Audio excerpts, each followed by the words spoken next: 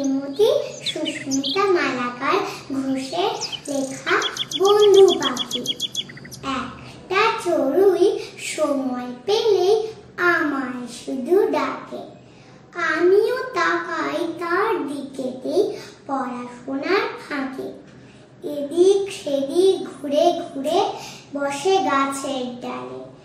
নেই বুঝি কাজ ডাকিস কেন রোজই সাত সকালে আমার কথা শুনে পাখি মুখ গোমরা করে। দুঃখে আমার চোখ দুখানি শুধুই জলে ভরে। আদর করে ডাকি তাকে, এই পাখি, তুই আয় না, জানিস আমি সকাল বিকেল শুধুই করি না তোর বাড়িতে কে কে আছে? কার কাছে তুই থাকিস? খিদে কিংবা ঘুমটা পেলে কাকেই বা তুই ডাকিস?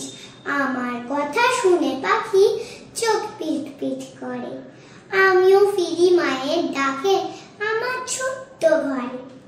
পাখির সঙ্গে আমার এই বন্ধুত্বের মাঝে সারাটা দিন কেটেই যে যায় নানান রকম কাজে। সূর্যি মামা দিন ফুরলে বাড়ির পথে চলে। সেই পাখিটা তারই ভাষায় কত কথাই না বলে।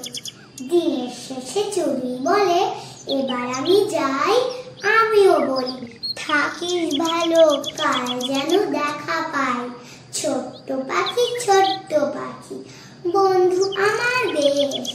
পাখির ঘর আর আমার ঘর, এই আমাদের দেশ।